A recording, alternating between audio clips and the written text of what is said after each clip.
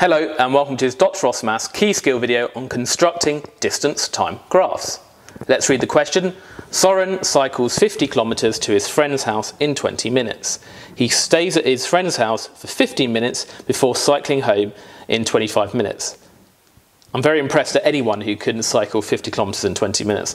Show Soren's journey on the graph. Now this is sometimes otherwise known as a travel graph now we've got two axes here. On the x-axis or the horizontal axis, we've got the time since he started moving. And then on the y-axis, the vertical axis, we've got the distance he is from home.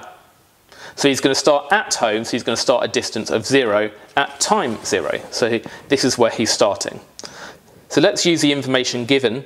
He cycles 50 kilometers in 20 minutes. So after 20 minutes, there's 20 minutes, he's gone 50 kilometers. You can see the 50 there. So 20 minutes, 50 kilometers there. And then we can just connect this up with a straight line.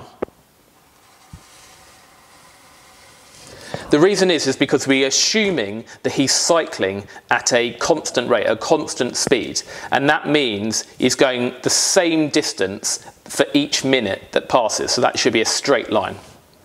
Now it says he stays at his friend's house for 15 minutes. So 20 minutes have passed since he left his house, but he's then staying 15 minutes at his friend's house. So that takes us up to 35 minutes because 20 plus 15 is 35. So we're now at the 35 minute mark. That's halfway between 30 and 40. If we go to the 35 minute mark, it's here. But he's still at his friend's house. So he's still 50 kilometers from home. So he's not moving back home, he's not going any further from home, he's staying at the same distance. So we remain horizontal here on our graph. And then it says he cycles home in 25 minutes. So after 25 minutes, he'll be at home, that is, his distance will be zero from home. So we're at the 35 minute mark. He cycles for 25 minutes, 35 plus 25 is 60 minutes. So he's going to be at home at 60 minutes. So at 60 minutes, he will be a distance of zero from home. So look, his distance on the vertical axis is zero.